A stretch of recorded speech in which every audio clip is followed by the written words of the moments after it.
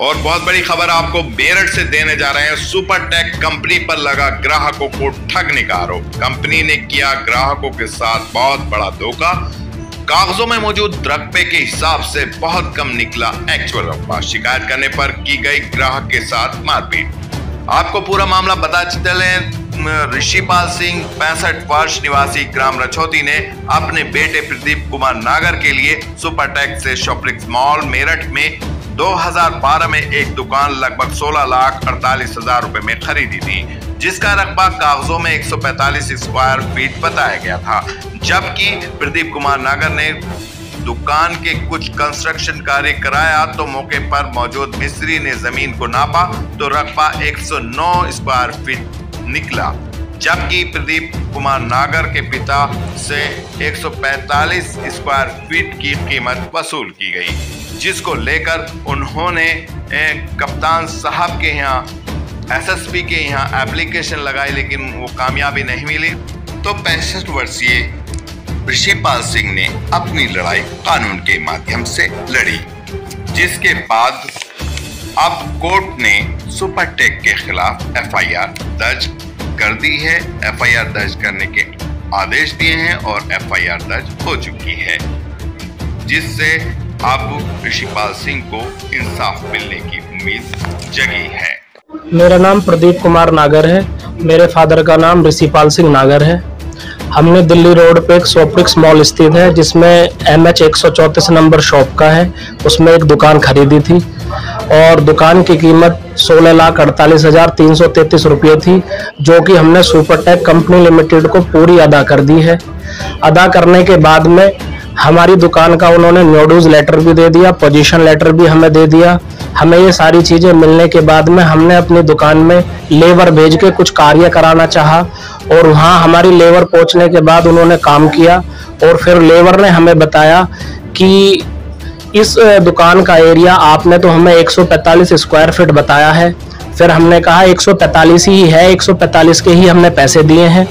लेकिन उन्होंने नाप तोल करने के बाद में बताया कि इसकी तो एरिया 109 स्क्वायर फीट है। फिर हमने वहाँ जाके अपने आप भी जाँच पड़ताल की और हमने देखा तो 109 स्क्वायर फीट है। फिर हमने अपनी बात वहाँ सुपर टैग के लोगों से रखी, मोहित अरोड़ा जी से भी रखी, आर के अरोड़ा जी से भी रखी। उन्होंने कई बार हमारा ये काम टाल दिया कि आज हम वहाँ हैं, आज यहाँ हैं। फिर सोपिक्स मॉल पे स्थित तैनात शिवा तेवतिया और रवीश रवेश कुमार त्यागी जी जो कि वहाँ वर्तमान मैनेजर हैं मेरी उनसे बात हुई। उन्होंने भी एक दो बार मुझे ऐसे ही टाल दिया। टालने के बाद में मैं तीसरी चौथी बार गया गया वहाँ पर तो मैंने कहा ये ऐसे है वैसे है या तो इसे पूरी करो या हमारे पैसे वापस लौटाओ। फिर उन्होंने ना मुझे पैसे दिए हैं मेरे साथ बदतमीजी करी गाली गलोच करी और मेरे साथ काफ़ी बदतमीजी करी।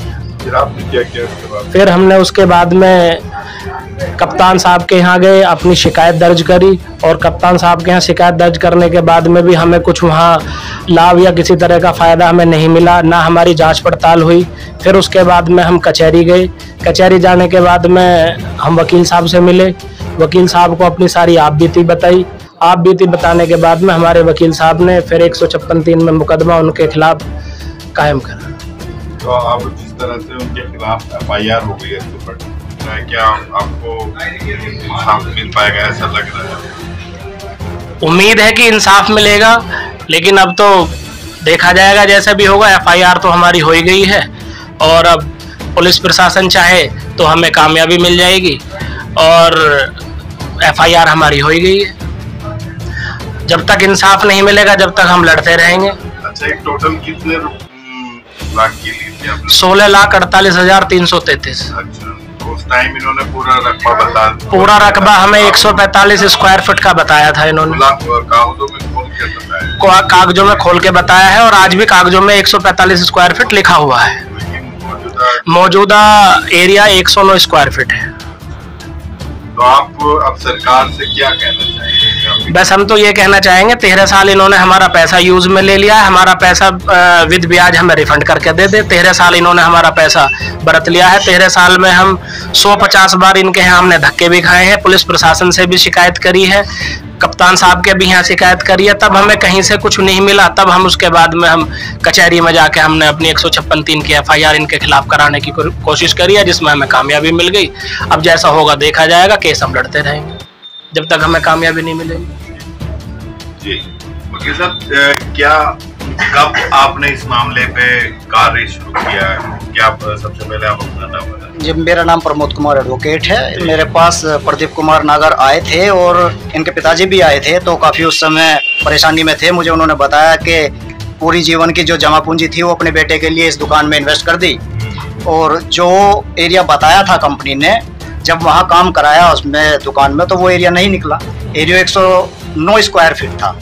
जब उनसे अपना डिमांड की गई कि भाई आप या तो एरिया हमारा कंप्लीट कर दें या फिर हमारा पैसा रिफंड कर दें, उसके बाद उन लोगों ने मेरे क्लाइंट के साथ मारपीट की अंदर ही, ऑफ़िस के अंदर ही बंद करके मारपीट की, गाली गलौज की और कार्रवाई करने पर जान से मारने की धमकी दी। उसके बाद ये लोग मेरे पास आए, तब मैं कोर्ट में गया हूँ। स्पेशल सीजीएम साहब की कोर्ट में जाकर मैंने एप्लीकेशन इनके खिलाफ दाखिल की है और जिसमें जो है, स्पेशल सीजीएम साहब ने सारे फैक्ट्स और तथ्यों को देखते हुए एक सौ छप्पन तीन को स्वीकार करते हुए एफआईआर का आदेश इनके खिलाफ किया है। और ये एफआईआर है मेरे हाथ में। जितने भी सुपरटेक कंपनी लिमिटेड के जो इस मामले में जिम्मेदार रहे हैं, उन सभी के नाम ये एफआईआर दर्ज की गई है। तो इस तरह की फ्रॉडबाजी बहुत चल रही है। ये ठगी हो गई है सोलह लाख अड़तालीस हज़ार तीन सौ तैंतीस के मेरे क्लाइंट के खिलाफ। इस तरह की ठगी को रोकने के लिए एफआईआर किया जाना पुलिस प्रशासन और जुडिशरी का ये जो मेरी जो सफलता मिली है मुझे उम्मीद है कि आगे जब हम मुकदमा लड़ेंगे तो उसमें भी हमें कामयाबी मिलेगी और इन लोगों को दंडित किया जाएगा मान्य न्यायालय के द्वारा। अच्छा जिस तरह से कितना वक्त लगा आपको इस एफ़ आई कराने के ये आ, काफ़ी वक्त लगा। इसमें पहले कप्तान साहब का यहाँ अप्रोच किया उन्होंने। कप्तान साहब के यहाँ से कोई रिलीफ नहीं मिला। उसके बाद में कोर्ट की शरण में हम लोग गए और कोर्ट को हमने अवगत कराया कि ये इतना गंभीर मामला है और इतनी रेपिटेड और इतनी वेल सेटल्ड कंपनी होने के बावजूद भी ये इस तरह की ठगी कर रही है लोगों के साथ। ये मेरा क्लाइंट है, ये मेरा छोटा भाई है, ये एलएलबी कर रहा है। और ये लीगल फ़ील्ड से है इस, इसके जैसे लोगों के साथ भी जब ऐसी ठगी हो रही है तो आम लोगों के साथ ये लोग क्या करते होंगे?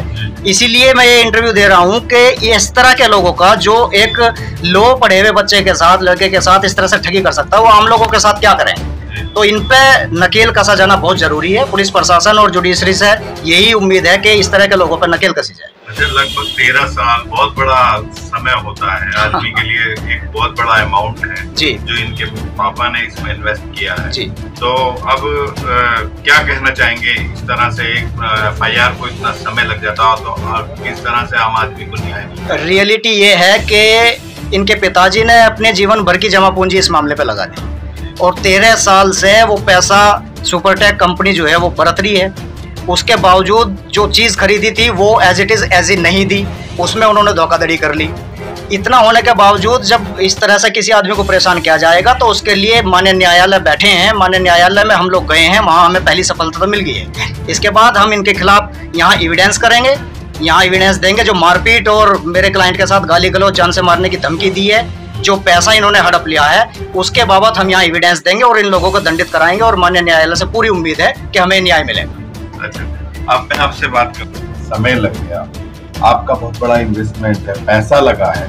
जब आदमी एक बहुत बड़ा पैसा लगा देता है कहीं उसकी बहुत ज़्यादा उम्मीद बढ़ जाती है कि कारोबार चलेगा और ना तो कारोबार चल रहा है ना वो पैसा कहीं से वापस रिटर्न हो रहा है। तो ऐसे में क्या लगता था आपको? ऐसे में बस उम्मीद ही लगा के बैठे हैं और क्या लगता होगा? जो उम्मीद लगा के बैठे हैं कि यहाँ से पैसे मिलेंगे या वहाँ से मिलेंगे पुलिस प्रशासन दिलाएगी नहीं दिलाएगी तो न्यायालय दिलाएगी। तो उसी उम्मीद में बैठे हैं और न्यायालय की शुरुआत हमारी हो चुकी है। तो तेरह साल के बाद आपकी एक एफ़ आई आर दर्ज हुई है जी। तो कहाँ तक उम्मीद है आपको कि आपको नहीं मुझे तो पूरी उम्मीद है जी हमारे तेरह जो हमने तेरह साल में हमने पापड़ बेले हैं उसके हमें सोलह लाख अड़तालीस हज़ार तीन सौ तैतीस में भी आज के हमें न्यायालय में इसमें सफलता मिलेगी हमें पैसे मिलेंगे।